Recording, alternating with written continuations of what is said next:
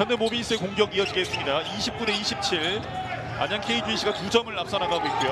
자 자세가 무너졌습니다. 다시 공을 뺏어냅니다. 크리스 맥컬러 step up 올라갑니다. one hand 덩크 크리스 맥컬러. 자 그리고 크리스 맥컬러가 아직 복귀가 안 됐습니다. 자, 일단 접촉이 발생하면서 반칙이 됐고요. 변준형 선수의 반칙입니다.